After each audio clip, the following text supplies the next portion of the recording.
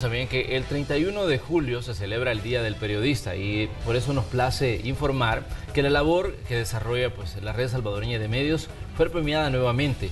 Varios de nuestros compañeros recibieron pues, un galardón de parte de la Asociación de Periodistas Independientes del Salvador, Aspilles. El periodista Ernesto Cornejo estuvo ahí y tiene las imágenes.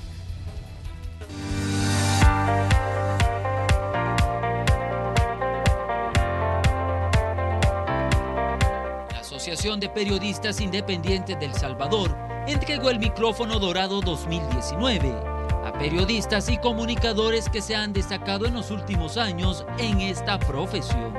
Entre los homenajeados figuró David Barraza, como mejor director de prensa por su trabajo, liderando Noticiero Hechos.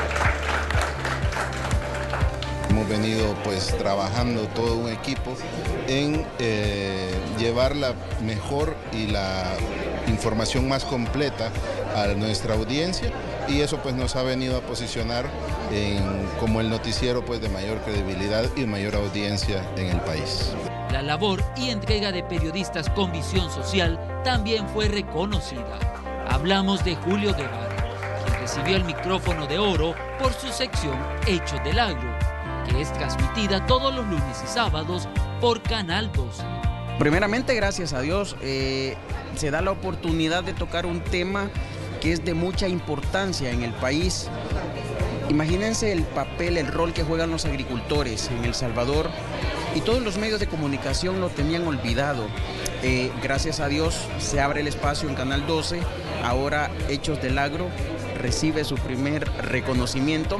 Tenemos menos de un año y ya los y estamos cosechando estos logros. El periodismo es un trabajo en equipo.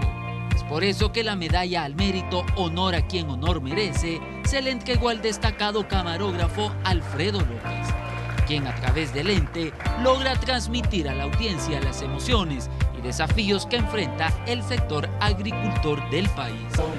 Hechos, Canal 12,